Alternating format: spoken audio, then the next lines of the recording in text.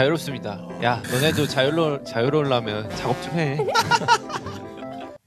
역시 뭐 작업할 때 작업 좀 해.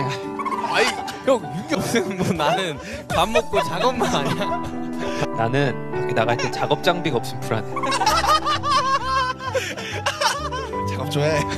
평소 내가 일상생활을 하면서 어? 안녕하세요 슈가입니다. 여행을 가기 전에는 뭐 준비물이나 이런 걸 되게 철저히 준비를 하고 막상 여행을 갔을 때는 또 무계획적으로 가서 준비된 거어 맞아. 가지고 가서 여행을 떠나요. 그리고 저 여행 떠나는 곳에서 밤에 작업을 합니다. 작업 좀 해. 얘들아, 작업 좀 해.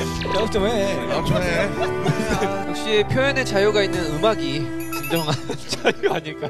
그 정도로 미쳐있지 않아 내가. 그 정도로 미쳐있지 않아. 거의 뭐 뮤직이지만 아니 라이브야. 이 정도면 뭐 영화 찍는 거잖아. 그 정도 아니야.